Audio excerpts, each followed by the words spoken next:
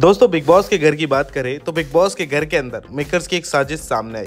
जी हाँ दोस्तों, बाबू भैया को पूरी तरीके से यहाँ पर घर से निकालना चाहते हैं मेकर्स रिसेंटली एक वीडियो में हमने आपको बताया भी था कि मेकर्स के क्या प्लान है। अब जो फैंस है, वो हाल फ़िलहाल यहाँ पर बाबू भैया के खिलाफ हुई साजिश को लेकर भड़कते हुए नज़र आए। जी हाँ दोस्तों ट्विटर की बात करें तो यहाँ पर सभी लोग बाबू भैया के जो फैंस हैं, यानी अनुराग दोबाल के जो जो ब्रो सेना है, वो पूरी तरीके से मेकर्स को बैश करती हुई नज़र आई। दरअसल हुआ ये कि मेकर्स जो है, वो ये बात जानते हैं कि वो पब्लिक वोटिंग की वजह से तो किसी कंटेस्टेंट को घर से नहीं निकाल सकती। इसी वजह से घर वालों से ही बार बार डिसाइड करवाया जाता है कि कौन निकलेगा। अब बाबू भैया यहाँ पर इस बार भी नहीं निकले। इसकी विपरीत ऐश्वर्या निकल गई। पहले हालाँकि वोटिंग के आधार पर ऐसा लग रहा था कि बाबू भैया निकल जाएँगे, लेकिन ईशा के वोट की वजह से ऐश्वर्या घर से बेघर हुई।